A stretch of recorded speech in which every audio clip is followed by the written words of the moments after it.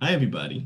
Uh, my name is Vince Warren, and welcome to Doing the Right Thing, Working in Public Interest Law, which is a webinar designed for the National Black Law Students Association. We're really glad that you were able to join us. We know that you all are super, super busy, probably more than a little stressed out. Um, but we wanted to provide a webinar that talks specifically about how people can get into public interest law working with National uh, Association, Black Law Students Association. We also wanted to make, to key it up for people of color, for Black folks and our allies, which is all of you. So we're glad that you're here. Uh, I'm the executive director of the Center for Constitutional Rights, and I'll be the moderator for this webinar. And uh, we want to talk with you about a number of pathways to success in public interest law. The Center for Constitutional Rights uh, works tirelessly with people on the ground and the social movement to push back against the most egregious forms of power. And you'll see that from our work by looking at our website, which I hope that you will do. Um, so tonight on the panel, we have wonderful, wonderful people, all staff here at Center for Constitutional Rights. And uh, first is uh, Omar Farah. Omar is a senior staff attorney here at the Center for Constitutional Rights and is the lead lawyer in Color of Change versus Department of Homeland Security and Federal Bureau of Investigation, which seeks records that reveal the government's expansive surveillance of movement for Black lives. Omar focuses on an array of CCR's litigation and advocacy in response to abusive policing, counterterrorism practices, including unlawful surveillance of Muslim American communities, the criminalization of dissent, and systemic unlawful policing practice. Next is Chinyere Ezie, who is a staff attorney here, and she advocates for racial and gender justice, lesbian, gay, bisexual, trans transgender, queer, and intersex rights, and challenges government abuses of power. Chinyere uh, is the lawyer who brought the fashion company Prada to its knees. You might remember uh, when they had a series of, of um, ridiculously racist figurines. Um, she was the first one to publicly challenge this, um, which resulted from them removing it from their stores worldwide. She also spearheaded a groundbreaking amicus brief in the Harris Funeral Homes case, which was just argued before the Supreme Court a few weeks ago. This is the, the case that asks the question as to whether transgender people are covered by Title VII of the Civil Rights Act. Um, her brief elevated the voices of more than 30 transgender people who've experienced workplace discrimination firsthand. Uh, last but certainly not least is Aya Syed. And Aya is a Bertha Justice Fellow here at the Center for Constitutional Rights, where she specializes in challenging unlawful detentions, counterterrorism practices, the criminalization of dissent, uh, and systemic unlawful policing practices. Before joining the Center for Constitutional Rights, Aya worked as a student attorney at the Harvard Legal Aid Bureau, where she provided direct legal representation to tenants facing eviction. So tonight, uh, we're going to discuss three areas. Uh, the first area is how we got into this work and our paths into public interest law. The second area is the challenges we faced as Black attorneys specifically. And third is what we wish we had known in law school that would have been helpful to building the career in public interest law. So then we will also then have a question and answer session at the end, but you please do not have to wait until uh, the end of, to send your questions in. Please use the Q&A icon to submit the questions and we will try to incorporate them either at the end or as part of the discussion. So please don't wait. I think we can get started. So um, we're going to start with Chinyere, and then we're going to talk with Omar and Aya. And uh, the question is, why did you get into this work, and what was your path? Sure. Um, thanks, everyone, for joining us today. Um, I'm very glad to be here and I'm very excited to talk about my path into public interest law. I um, it's probably helpful to start with why I decided to go to law school. Um, it's probably similar to a lot of you all, but um, I was interested in seeing how the law could serve as a tool to seek justice in communities um, that mattered a lot to me. I had previously worked as a sociologist and a researcher, and what I saw there is that while I had an opportunity to document a lot of the systemic inequalities that um, you know, minorities, people of color face in uh, society, both here and abroad, that I didn't have um, tools or mechanisms to sort of begin to dismantle that oppression. And so, um, although law, as you probably also know if you're um, well on your way into law school, is a very flawed um, device and flawed tool. I um, was very interested in learning how it could um, be utilized by disempowered communities to sort of seek mm-hmm. justice and demand for justice. And so um, I went to a law school that didn't have the most resources available to public interest students at the time. And so I had a little bit of um, an unconventional path into public interest law. It was, again, what I wanted to do when I enrolled, but um, there were not a lot of career advising available to me. And so instead, what I did is um, I pursued a clerkship for a year and then I accepted a job at a law firm. Um, I chose a law firm, however, that had a lot of pro bono um, as part of its sort of um, vision for the work. And so um, when I was there, I kind of just shamelessly exploited that provision. And I think over two years, billed um, more than a thousand hours of pro bono, um, which is to say half of my time That's to pro bono. Um, but what that did, and um, you know, it was give me an, an, a place that I could sort of skill up and become a better, um, more skilled attorney um, you know, and also sort of be able to craft a next step. And so that next step um, was to a nonprofit organization, Southern, the Southern Poverty Law Center, and I practiced there um, in Alabama, um, which is their, their main office, doing um, LGBT work, Q rights work on behalf of Southerners, and mostly Southerners who were people of color, and challenge things like prison conditions impacting transgender individuals and um, denial policies that denied them healthcare and um, safety.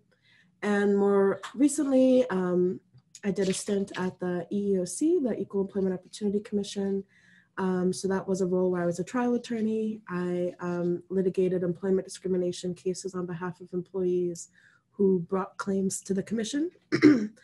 And um, I've been very proud to be a member of the Center for Constitutional Rights staff for the past year. So um, when it comes to Q&A, if you have any questions about um, what it's like to practice um, as a, a, corporate attorney who's uh, stealthily planning their exit and exploiting firm resources, or um, someone at a, a big nonprofit or um, you know, federal government or other government, I've sort of been able to experience a lot of that. And I'm very glad that um, I've now made CCR my home. Thank you. Uh, hello, everybody. Uh, my name is Omar. As, as, Vince said, I've been with the Center for Constitutional Rights now for uh, nearly eight years, and um, it, it's always exciting to be able to talk to people who are uh, who, who, know of CCR and are on their way out of uh, law school or or maybe just getting introduced to our organization for the first time. Um, you know, I had a, a, pretty circuitous route to get to, to public interest law. I think it was uh, kind of a process of learning to listen to things that I, I, already knew. I had the, you know, the, the experience of growing up in a lot of um, very severely impoverished um, parts of the world, parts of the developing world. I, I grew up uh, in a family where uh, my mother was an educator, my father worked in, in service of refugees. And I, I think I always had a sense that your professional life should be dedicated to something larger than than your own interests. It took me a while to sort of figure out how to marry that with my own particular set of, of interests. And so um, I bounced around. Uh, you know, I worked in in corporate America right when I got out of college, and and that was um, uh, as as miserable an experience as you might have heard it to be. Uh, so much so that I fled to become a teacher myself, and uh, was a high school teacher for two years before I, I got to, to law school. Um, at law school, I, I, spent a lot of time working and um, and being in community with people who were involved in, in the clinical programs uh, dedicated to politi- um, you know, political asylum seekers. And that I think was sort of the first real indication of, of, of a direction that I could go to, uh, that I would go in. Like, like Chinyere, I um, went to a law firm when I got out of uh, law school and, and was very intentional uh, about selecting a law firm that had a, a large and robust pro bono program. And most of, um, I think I can can top you. There was a stretch there where I think I was really full time doing pro bono work at my law firm, yeah, um, litigating habeas cases on behalf of Guantanamo prisoners. And that was, uh, you know, I think um, the, the, place where professionally I think I was um, radicalized, working, you know, for for Muslim prisoners at an offshore island prison, torture survivors, uh, meeting with folks with, you know, just a, a notepad and a pen and trying to think about how to translate the stories that I was hearing in those cells into legal doctrine and um, in a way that was faithful to their experiences is is a large part of the way that I have uh, stayed in this work and and sort of organized my own career trajectory. And I was fortunate enough to be able to actually bring some of the the clients that I have been working with for many years with me to the Center for Constitutional Rights, which is to me an indication of the commitment that this institution has for for supporting people who are doing um, the kind of work that that we celebrate and, and center here at, at the organization.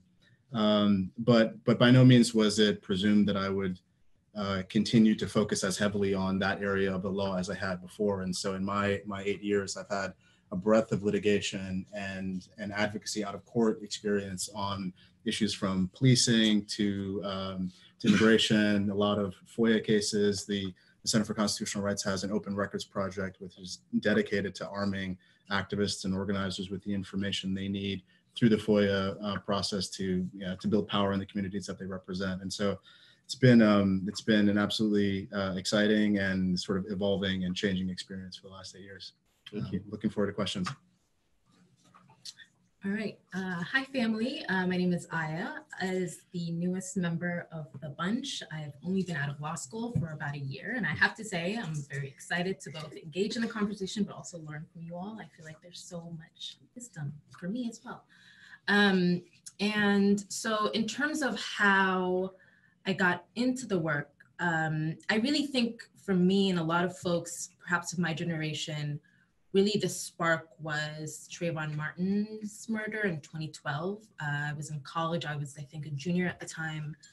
And um, also coming out of the heels of what was then a really robust Occupy Wall Street movement.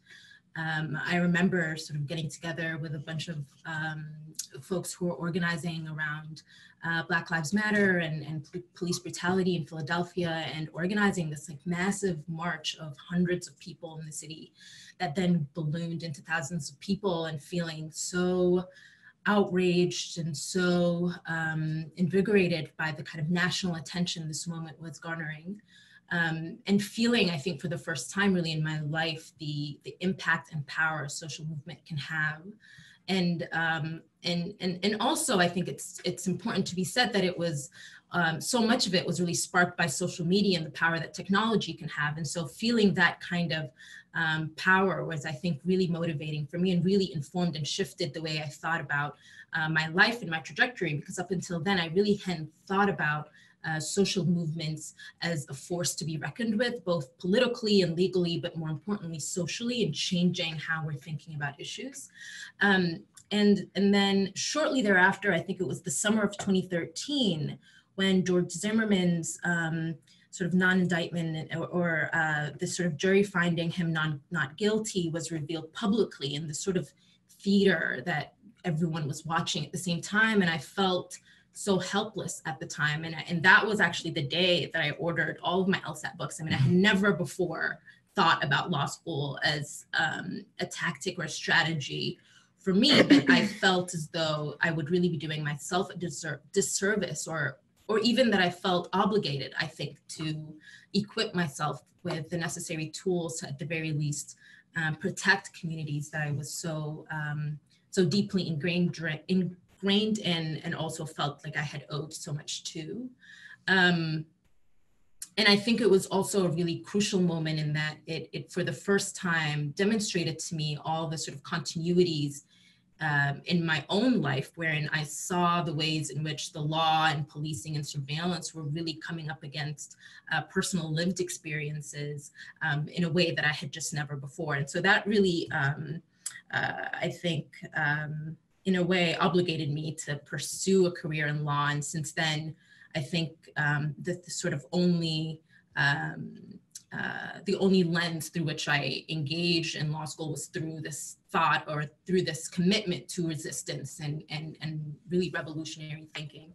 Um, and so during law school, I not only, you know, sort of made it a point to um, participate in clinics, but also was deeply involved in student protest movements um, and sit-ins and occupies across across campus. And that's sort of the, the energy and, and um, the commitment I hope to bring in future pursuits. That's awesome. And, you know, th- this tension, and I, maybe people are feeling this as well, that there's sometimes a tension between what got you in motivated to go to law school and what's the kind of work Mm. that's available to you in law school and out of law school, which I think we should touch on. We have a couple of interesting questions, which um, some people have really clear questions about pro bono work in law firms.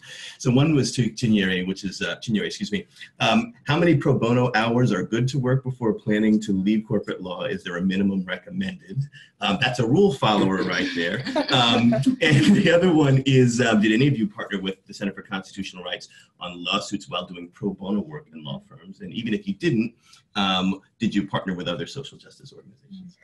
Sure. Um, since one of those questions was directed to me, I'll um, dive in. I think I can answer both. Um, so my path to CCR um, had a 10-year break, but I did intern um, at the Center for Constitutional Rights back when I was in law school, and I did it during a semester. So I want to make that something that all of you are aware of, that in addition to internships that you do over the summers, um, you also have an opportunity to sort of do term time projects, fall, winter, even winter break. Um, so think about that as something that um, kind of expands your reach. Um, it was something that, you know, um, really gave me a flavor for the work here and the, the environment. And I'm very glad to say 10 years later, I was able to join full time. Um, as for the question about pro bono at a law firm, I want to give two reactions to that. One is um, when you're evaluating law firms to consider whether you go go to them as someone that really is public interest minded, make sure that you're looking for um, law firms that do not cap the number of pro bono hours that you can apply towards your billable requirement. Um, now, not all law firms are transparent about having a billable requirement, although in my experience, it tends to hover around um, 2,000 hours a year, whether that's stated or unstated. But there are some law firms that will say you can apply 50 hours of pro bono to your billable hours. And that might, in the abstract, sound generous, but what that means is after you do those 50 hours, you're going to face a mountain of pressure to redirect your energies back to billable work. Um, and so the, the law firm that I chose to go to had no billable, had no cap again on pro bono hours, which is why um, I was able to run up uh, my hours. And um, what having a really, um, I mean, my answer to that, beyond that, um, if you if you know that you're planning to leave the law firm, um, and that your goal is not to make partner, I think you know the more hours the better, um, for two reasons. One is that it really can give you an opportunity to gain skills that you would not have in your billable work. Um, you know, I'm a litigator through and through, so I'm speaking with that perspective. But um, in my pro bono practice at the law firm, I was able to write briefs from start to finish, right? I was able to take depositions. And these are, are things that are very um, kind of scarcely um, divvied up when you are in a billable practice, oftentimes just reserved for the partners. So I was getting incredible skills that um, people who only did billable work might not have five or six years into their time at a law firm um, in my first year or two there because um, my law firm viewed pro bono as something that, for better or for worse, allowed lawyers to sort of gain some practical experience.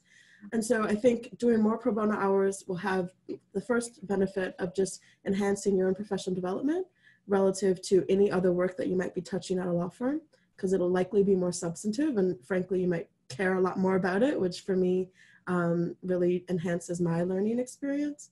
But in addition, because I was able to do so much pro bono, I was also able to establish relationships and really build a docket that spoke to my enduring commitment to social justice work, even though I was at a law firm. Because, you know, to be transparent, there are some organizations that will question why you spent time at a law firm when you're trying to apply for a public interest job. And I think it really was the fact that I was able to do so much of it that enabled me to make that transition really seamlessly. No one uh, questioned my commitments to the work. Thank you. So um, Omar, just real quickly, um, you mentioned this in your uh, comments, but the relationship of the Guantanamo work, and for those of you who don't know, for the last 18 years, there have been uh, men detained without charge in the Guantanamo military base uh, in Cuba, um, that this government has not allowed uh, those folks to go to trial um, or and it's and there are a number of them that they're not releasing. It's really one of the biggest uh, human rights crises of our time, which Omar and CCR have worked on, which is the relationship of your Guantanamo work at the firm to CCR. Quickly.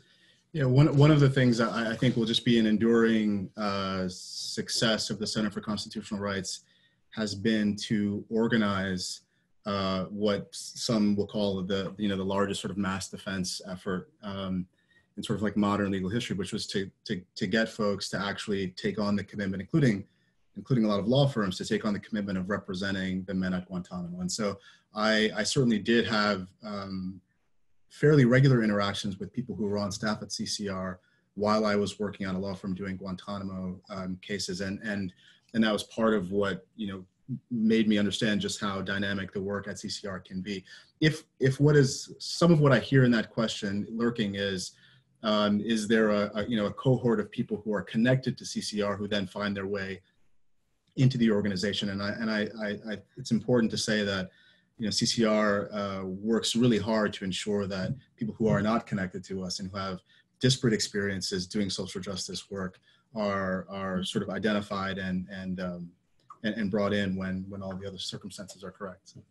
Yeah, I would add to that. Just I want to move to um, Aya and the next question is that um, your ability to chart your course towards justice is really the determinative factor. It is very easy to get caught up in direct services, in law firms, in private uh, uh, law, situations where you're learning so much and doing so much um, that you can lose sight of the place that you're trying to get. There's always a way to make it work.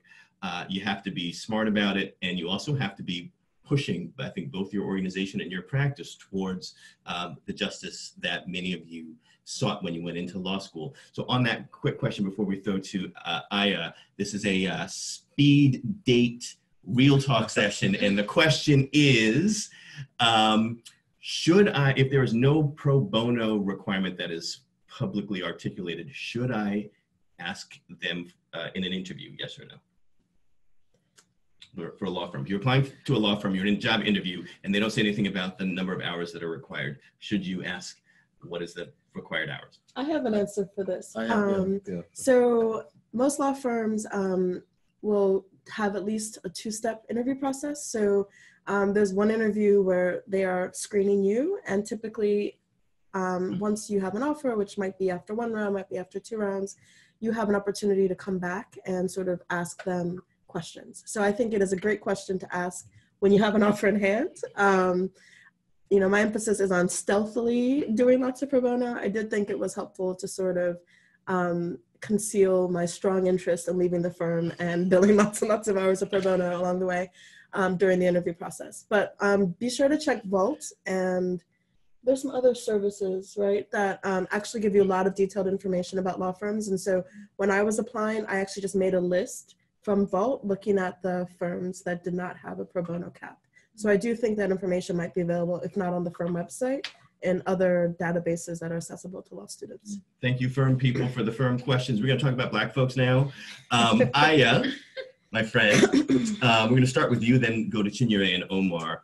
Um, you know, what types of challenges, you know, in any context, have you faced or do you continue to face as a Black attorney? I think I had this assumption coming out of law school that if I was able to sort of um, isolate myself from certain corporate spaces. Um, sort of once I get this degree, that it would immune me from facing anti-blackness, especially in the non, uh, in the public interest sort of nonprofit space.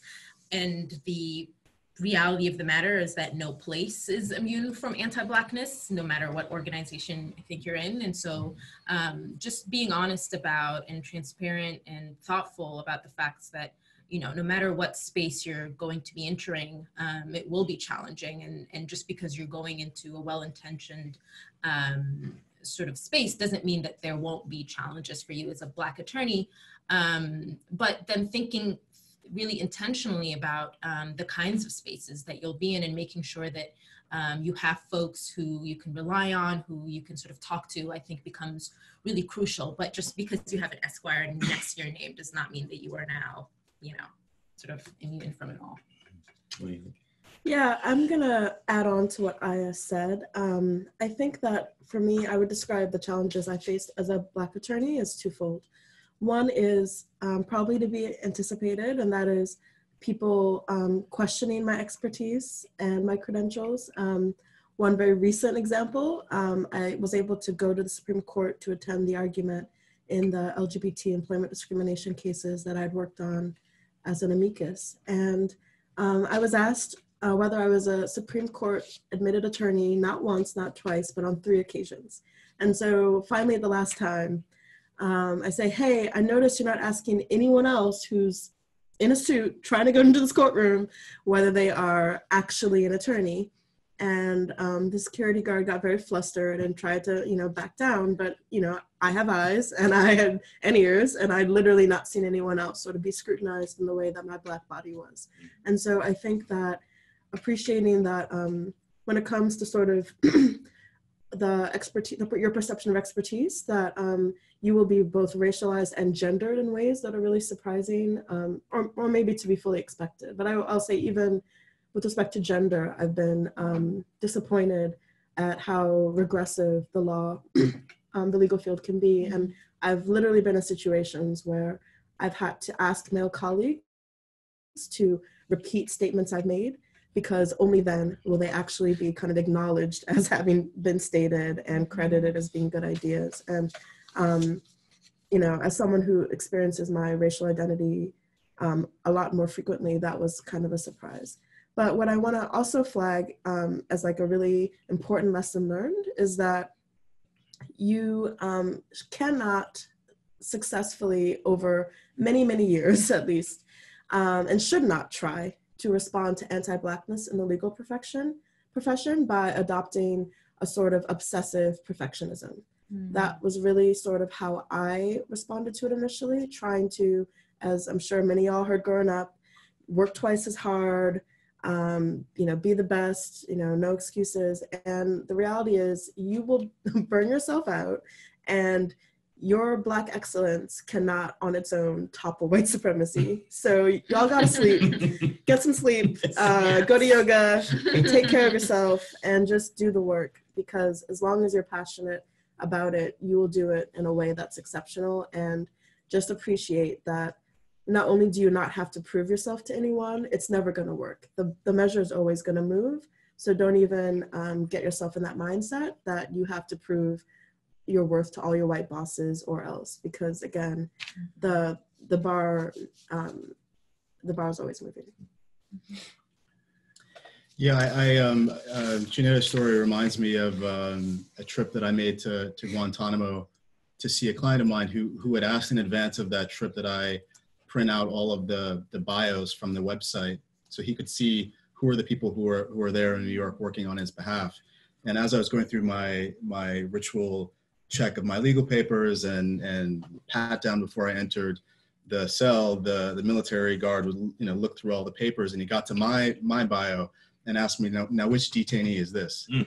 um, which you know in some ways is uh, of course surprising, but then I, I think as you were just describing, you know not surprising at all. And and the reason I say that is one just to sort of uh, re-up, you know, Aya and, and Chinyere's comment that of course there, there's no escaping anti-blackness. You don't need a webinar to, to tell you that. And, and the challenges of being a black attorney, I think are largely the challenges of just being black. But at the same time, I, I think one of the particular challenges that you'll face if you work in social justice and service of communities that you come from is the challenge of standing at the intersection of your own identity and the kind of uh, excesses and abuses of power and injustice that you want to fight again. And operating as a lawyer in those spaces oftentimes doesn't give you the latitude to speak as freely mm-hmm. uh, and and as directly about about truth and justice and racism and oppression as you might like to. Right? There's there is not the amount of space that there should be in our profession for for righteous anger and, and indignation about some of the things that we that we face. What is really really exciting about working at the Center for Constitutional Rights is that that is alive and well in our discourse about how we approach our work and what we do. I will continue, I think, as long as I do this work, to struggle with the times when we're in specific legal settings where we have to act in roles that that actually don't create space for that. And you will find yourselves at times, and, and I know all of us here share this, being in a courtroom wanting to wanting to talk about injustice in a way that reflects the lived experience and having to do a little bit of that deft work to make a system that is hostile to those notions come to terms with them without being um, um, uh, without having your opportunity to persuade closed before you get started. Can Which might be an eloquent way of saying you can't uh, yell about the man, white supremacy, and heteropatriarchy when you're uh, in those words when you're in court. But, I find that a struggle. it is a struggle. I was just going to add that I think, um, you know, in this space, we're sort of molded professionally to think of ourselves as advocates on behalf of our patients and or, uh, of our plaintiffs. Sorry, and I think that. Um, you know, one thing that I'm learning um, very early on is the importance of also being an advocate for myself and being prepared to um, adequately, effectively, but also thoughtfully um, advocate for my needs and my sort of professional goals and personal goals um, in professional spaces, which, you know, I'm sure I'll undoubtedly have to do for the rest of my life. But just thinking of yourself also as someone um, worth advocating for, I think is really crucial at this stage. I totally agree. And, you know, from my perspective, um, I worked in uh, as a public defender for uh, a number of years before I did a clerkship. And then I went to the ACLU to do uh, impact litigation. And then I came to CCR. And in the, as, as a public defender working day in and day out in the courtrooms, I had the exact same experience of uh, when you go into the well, only the lawyers are inside, allowed inside the well, and the only time the, the defendants or the clients can come in is if with their lawyer.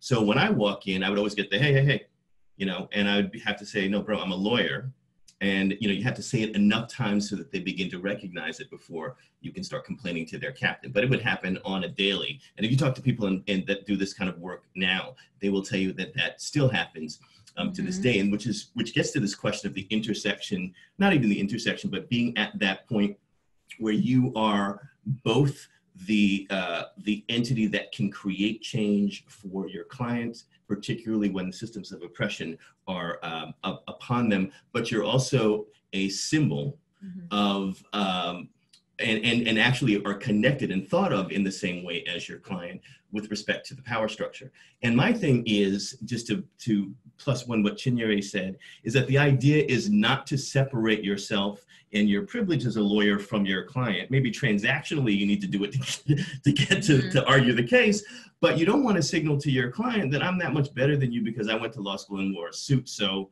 you know, and so that's part of the challenge i think of mm-hmm. and not just being a lawyer of color or black lawyer this is part of the challenge with people who come from communities and identify with communities that are uh, being represented in who they represent.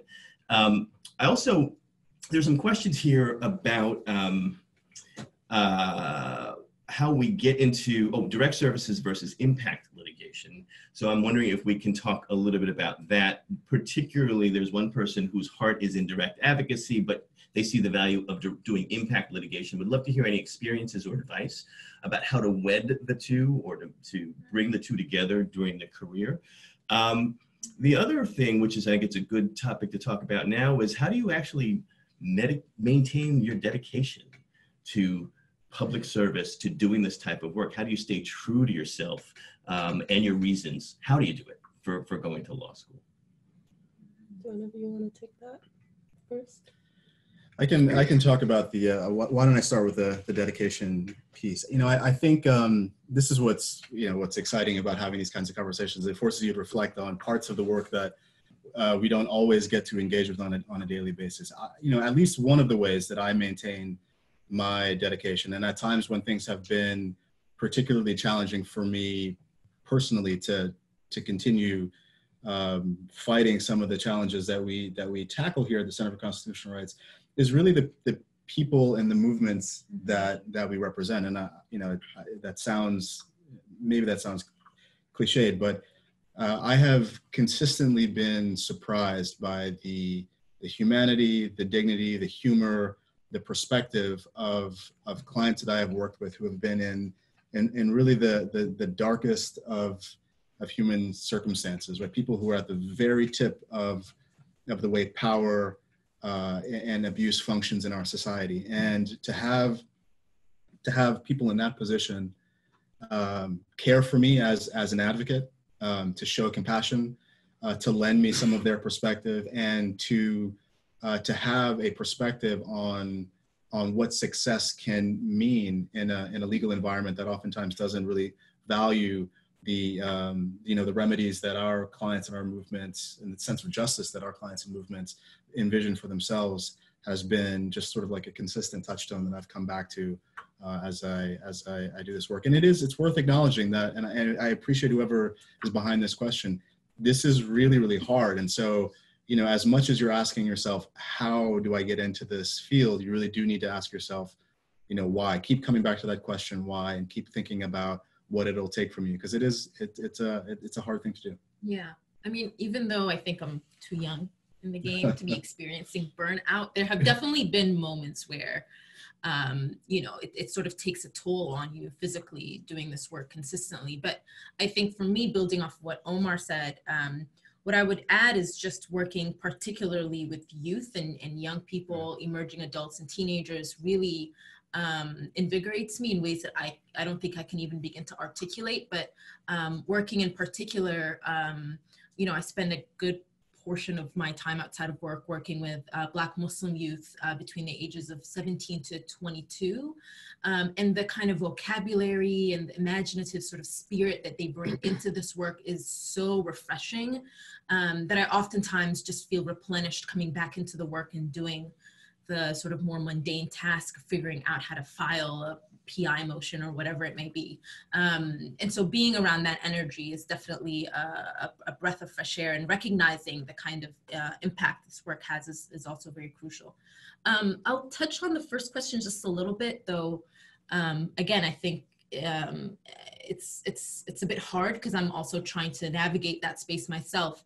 What I will say is in law school, um, I worked almost exclusively um, uh, directly with patients representing them in housing court um, and felt really passionate about the work and, and had a really hard time um, sort of uh, uh, marrying that experience with um, what I thought was my passion, which was impact litigation um, in the sort of national security space but there are two things I think that I sort of learned from that experience. One is that they're really, the two options aren't as I think bifurcated as a lot of law students um, or the legal environment or profession would like us to believe in that um, I have tons of friends who uh, worked at, for example, the Bronx Defenders for two or three years and are now in their impact litigation space and their impact litigation team, which is uh, very vibrant. And, and, I know folks sort of transition between both roles um, frequently. The other is that I think um, sort of direct client experience informs the way in which you are thinking about some of the legal theories um, when uh, sort of creating and implementing um, and strategizing around um, sort of impact litigation um, uh, tactics. And so I would really, uh, you know, I think it's actually very helpful and, and, and um, informative for folks who do have that sort of yearning desire to pursue it understanding that it's very likely and, and actually probable that you'll be able to uh, figure figure out how to sort of marry that with an impact litigation career in the future. I don't think you'll um, you'll foreclose or close any doors uh, for the future. Yeah, this uh, we're the, the thank you so much. The questions are really coming in now, and uh, we're going to have to sort of begin to move on. I did want to address one and then throw one out for a, a quick take. Uh, one I wanted to address is that someone mentioned that uh, professors of theirs said that she wished that she had worked in a corporate job before entering the public interest because the public interest jobs typically don't have funds or provide in-house or outside training. And what's the thoughts on the advice? Um, I think what your professor or people that think that way are, are saying is that they would like to have and maybe be in organizations that do think about training, uh, public interest organizations that do think about um, how to how to train up and to think strategically and equip people with the tools. And like with anything else, it depends on your organization. There are some nonprofit organizations that have zero money and they're bringing you in because you are going to be helping them with a legal strategy and you just have to figure it out. There are other organizations like, like our Center for Constitutional Rights where we invest pretty deeply in training and, um, and, and things like that. So the uh, Bertha Justice Fellowship that AYA has is one in which we incorporate a lot of training on a range of hard litigation skills as well as political education and things like that. Uh, and we do it with our Ella Baker summer internship program, which I'll tell you about afterwards. But the answer is no, that is not uniformly true. And that you can get a set of skills and trainings through a variety of things. For example, um, there are trainings, um, the National uh, Bar Association, with the National uh, Lawyers Guild, with the National Conference of Black Lawyers, and through the networks that you build. It's one of those things where you figure out how to do things together. Um, so my view would not be not to take that advice and just go for to some place for training because you're also going to get trained on different things. You'll get trained on how to represent corporate interests in in a corporate law job. You will not get necessarily trained or certainly not in the right way on how to interview and talk with clients which is a whole different thing. Can I add to that? absolutely because I, I was told the exact same thing. Um, and I actually think it's ludicrous now that I've been out for a year. Um, and I thought everyone would sort of told me that this would be lawyer boot camp, that this is where you needed to go to equip yourself with all the necessary skills. Um, but actually, a year out, I'm comparing my experience with what some of my peers and colleagues have been doing at a firm. And I'm almost shocked at the lack of experience that they're they've sort of had um, substantively. I mean, even in the one year, I've been asked to you know help with depositions, like go to court. I've been asked to argue things. I mean, I couldn't, but you know that's a whole other story. Um, really played critical roles in helping to write briefs. I mean, there's because we are um, a fast paced team and there are a lot of things happening simultaneously. You sort of, um, just by virtue of being in the space, have to really operate as, as a, a full time attorney, um, which is challenging in a lot of ways, but really why you know, we went to law school. You're really sort of doing the work. Um, and so not only is it about what kinds of experiences, it's also about the frequency and the depth of the experiences that you're getting. Um, and then just secondly, um, you know, as Vince is saying, there are a lot of uh, public interest positions that are, um, you know, they sort of treat you like you know any other attorney when in reality folks at this stage really require um, a lot more support and so i would really encourage folks to look at specific fellowships that um, are not only institutionalized and structured but at the very least have experience taking in um, fellows and have a kind of program um, to support fellows with their particular sort of professional needs Mm-hmm. Thank you. So um, the last question um, that we're going to ask is, uh, what are some of the things that you wish you had known in law school? But before I get to that, I'm going to ask a really hard question, which was posed, and it's a very, very good question, an important one, which is how do you navigate problematic conversations with white allies? And, and, and particularly, um, as an example, um, when you have uh, white folks or, or non-black folks of color that they assume that they're engaging in public service or social justice, um, that they understand everything about race. Like how does how have you dealt with that question of having to recalibrate people's um, expectations and ownership over the the work, um, but also be clear with uh, you know what it means to be black in the work mm-hmm. and what black or of color understanding of the work is and how that might be different? Um, I can start. Go. Um, I think one thing I'm learning is to be explicit about clearly defined roles for various members of um, a team, especially when doing movement work. And one particular example that comes to mind is when we were organizing um, our January, January 11th um, uh, sort of uh, protest that we help to organize annually, um, demanding for the close of Guantanamo.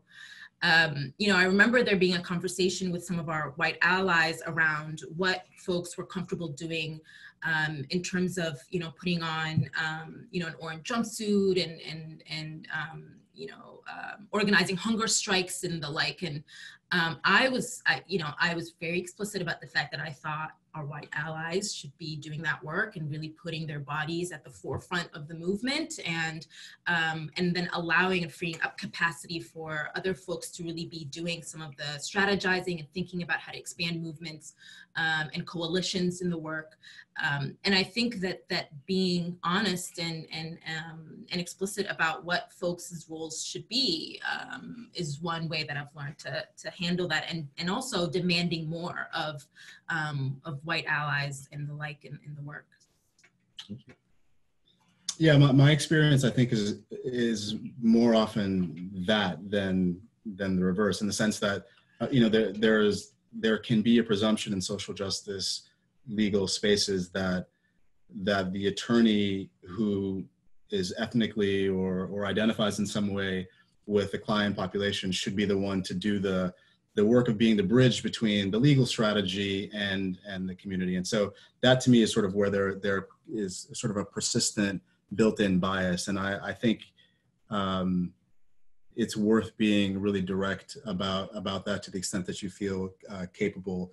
Um I, I think also you know there's there's you have to lean into your particular expertise. And you know you you will hear in social justice spaces i think a lot of of, of vocabulary around uh, impacted communities being in charge of their own destiny and and it should be the one that lawyers take the lead from.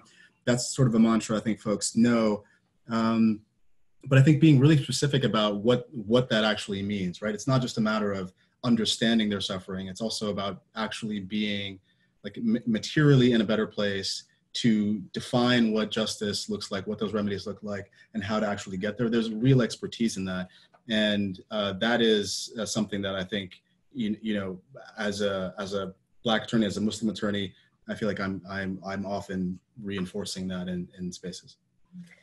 I'm not going to offer um, particularly reassuring advice, um, but step one, lower expectations. Um, step two, um, try to see if you can get the get uh, White Fragility by Robin DiAngelo on their reading list. And three, um, learn about what the EEOC says about retaliation. Um, I feel like white fragility in uh, white-led organizations can really kind of be the nuclear option, and sometimes um, leaders are really unwilling to sort of reassess um, their role. I, when I was at the EEOC, um, the number one type of um, complaint I would receive from nonprofit organizations were mm-hmm. retaliation claims where a minority employee basically said some, some something or someone was racist and suddenly you know they are being advised of the the life that awaits them outside the organization mm-hmm. um,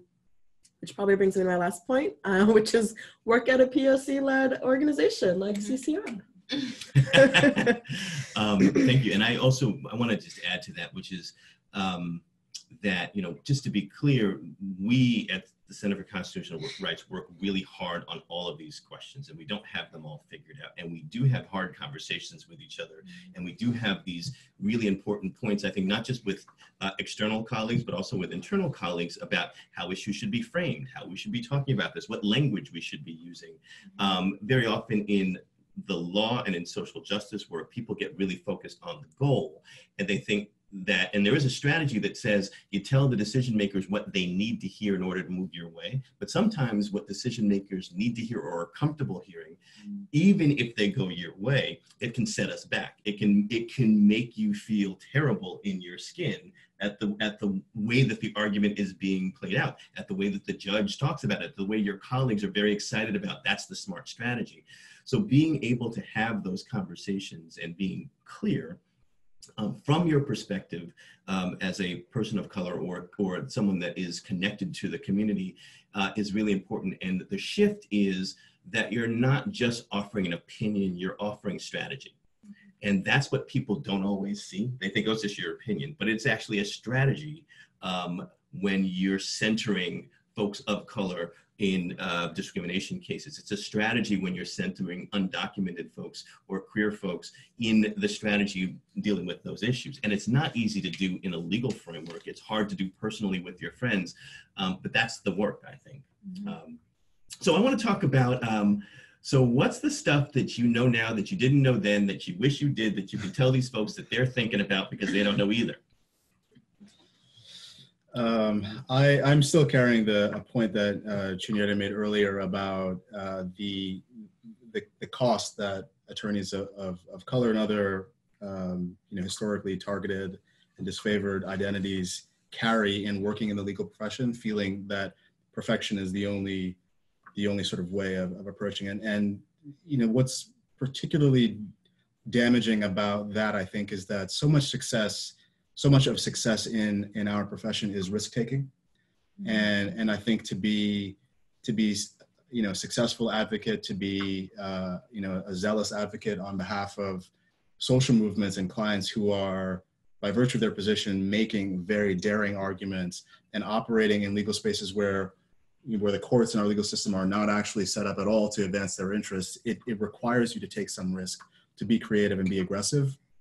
And so I, I, wish I had a little bit more of awareness of how much that is the measure of, of success in good lawyering. Um, you know, I think networking, I'm, I'm just not at all a natural networker. I don't, you know, it, it was hard for me to sort of reach out, but I, I think it's just an indispensable piece of it. And so in whatever way that you can do that, that feels natural and consistent with your identity and personality, reach out to people, ask questions and, and put yourself in positions to find out the things that you, that you don't know. And then, you know, legal work is collaborative. I think law school, um, I think success in law school is in certain ways really at odds with what success in lawyering can, can look like. Uh, we work in teams. Uh, we have to share work in various stages of, of completion. We've got to ask ideas about, about strategies that aren't particularly well formulated yet. We have to be able to do that. And so uh, get comfortable in that, in that as early as you can in your career, because uh, again, I think that's the kind of thing that sort of catapults you forward. Mm-hmm. Um, one, one thing I did but I, everybody told me not to do, so I'm gonna break the rules a little bit, um, is to really engage with uh, conversations around social justice that are happening on campus and, and being authentic in those conversations. Everyone told me not to do it because the focus should be on your intellectual pursuits and in mastering the law. Um, but what I'm realizing more and more is um, um that, you know, that there's a sort of implied you're not um, you know, if you split your time, then you're just not going to be as good of a lawyer, um, which is really, I think, false. And but more importantly, now that I'm um, in this space, I'm recognizing just how crucial some of those conversations that I had in law school were, and how I'm carrying those in the work that I'm doing, and how so many of the people I was in conversation with are really still um, not only folks that I'm working with professionally, but folks I hope to build a new future with um, moving forward. So, um, you know, don't don't worry so much about um, feeling as though you have such limited time and, and all of it needs to be devoted to classwork. Um, the other two really quick um, pieces of advice, one is just take your internships really seriously. I think after a really grueling year of academic work, if, you know, it's natural to think the summer is a time to relax and to just be shadowing and learning. And even though all of that is true, um, the, the sort of relationships that you build over the summer and the kinds of work that you produce over the summer is really going to be what um, helps you transition out of law school. So just be very thoughtful about that. Um, and then finally, a lot of the stuff they tell you matters really doesn't matter as much. You know, the the sort of you have to apply for a clerkship right then and there. It's not true. Really, a lot of people apply for clerkships well after they graduate law school, um, or that you have to join law review. I think if you join a journal and are really passionate about it, that's good enough. Um, so just be true to sort of who you are and, and where your passions are, and trust that the same instincts that got you to law school are going to get you out and, and in the future. Um, here are mine. Um, one, the most successful law students figure out how to have some chill. Um, same with uh, bar takers. I feel like um, you're gonna pass the bar as long as you don't literally have an anxiety attack and pass out. So trust yourself, trust the process. Don't let um, perfectionism and anxiety um, derail you off course. That's not to say don't put in the work. Just try to put in the work and leave the anxiety out of it. Um, another thing that I wish I'd known was how valuable it is to um, consider careers in direct service. I think that was really the missing piece at my law school mm-hmm. that um, made so so few of us actually embark on um, careers in public interest right after law school because um, legal aid jobs, um, jobs at um, you know defenders offices, those tend to be more readily available than your plum impact job. And when I was at the EEOC as a trial attorney, the only people I knew who had ever had trial experience mm-hmm. were those that cadre of um, yeah. defenders, public defenders, people had been working at state agencies, um, and they were the ones that helped me get ready for my four-week uh, trial, jury trial. So um, just appreciating that, um, just like Aya had shared, like that is an arena where you're getting all the professional development and you will use those skills um, throughout your life, um, you know, and learning how to sort of be a good oral advocate is not something that um, many other pathways in the law will really set you up to do. So see that as um, really additive and again, a way to sort of both get training and experience and demonstrate your commitment to public interest right away.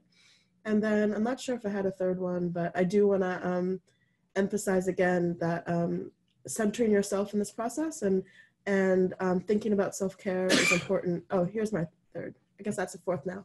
Um, 3A. Realize now before you're um, extremely disappointed as a as a adult or mid 30 year old that um, a um, learning is a lifetime process and b um, your law school your college education um, even if you went to hbcu might well not have told you all the things you need to know about the law and inequality and how um, these systems have often worked in cohorts rather than you know intention. And so for instance i took constitutional law graduated you know um, from my law school and had never learned about convict leasing had never learned about how the 13th amendment um, makes slavery constitutional for anyone convicted of a crime you know? And i think that's a friggin' shame but um, it's just to say right now you know get out a pen and paper and put um, you know put the new jim crow on your reading list. Put um, white rage by Carol Anderson. It explains meticulously how every time we've gotten some rights, there's basically been, you know, what we're experiencing now is Trumpism, you know, in response. And, you know, it, it really kind of helped orient me, although admittedly years later, well after I got my JD, into what we're really facing um, as a progressive legal community. And I think it also encouraged me to think about um, justice as something that doesn't just uh, you know, we don't just arc towards it. We have to really sort of push and pull and elbow, and we're going to lose along the way. But at the very least, we'll be able to say we're on the right side of history. And that's how I also get my motivation in times where, you know, I'm looking at all the buffoons on the Supreme Court and feeling really uh, bummed out. Totally. And I would add right before we close, uh, there are three things that I've learned. Um, and it's been probably 30 years since I've been in law school. So, uh, thing number one and y'all need to be writing this down. Thing number one is that your first job out of law school in no way defines your career in law. So just let that go. Mm-hmm. Your first job is your first job. And sometimes it's your dream job, and sometimes it's a stepping stone. You need to have a strategy, you need to talk to folks, but it is not defining. So you can go into uh, direct services and end up doing Supreme Court arguments. You can uh, go into insurance defense and switch up and end up in direct services. These things are possible. Um, the second thing that I would say that I think is important is that your network, the people that you are connecting to in this work, are as important, if not more important, than your ability to find out about jobs.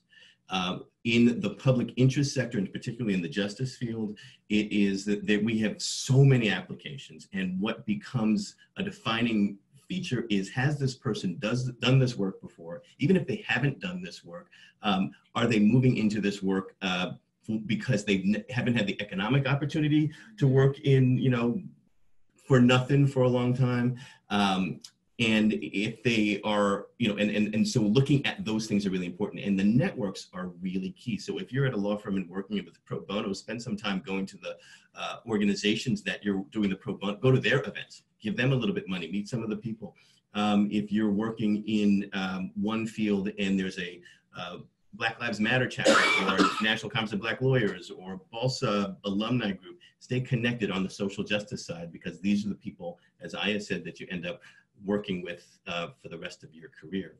And can I just clarify? Because networking, like Omar, is a word that kind of terrifies me, but I've come to see that I do it quite naturally when I think about it in the following way, which is just be your authentic self, be affable, you know, and don't like literally just sit in your house all day and not speak to anyone, you know. If you are, I mean, I got my Southern Poverty Law Center job because at the Center for Const or at my law firm, there were people who were partnering with them on pro bono who I was friendly with.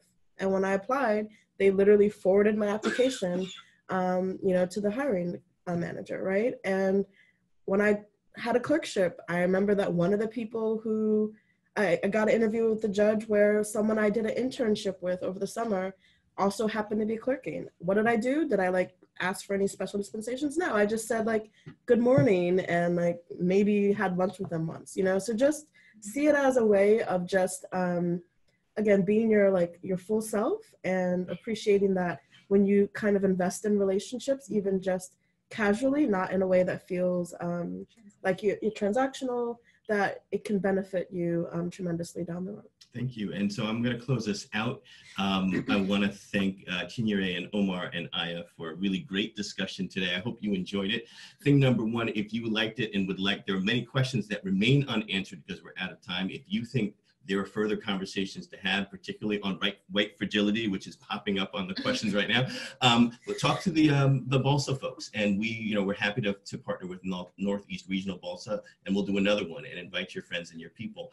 Um, what somebody asked a question about one L's and particularly what one L's can do as opposed to two L's. So here's some of the things. Number one is the Ella Baker Student Internship Program, which the Center for Constitutional Rights does every year. Um, Aya was a, both an Ella Baker intern as well as a Bertha Justice Fellows, which is a two-year fellowship that we do every two years for people that are zero to three years out of law school. You can find out all of those things by looking on our website, which is ccrjustice.org.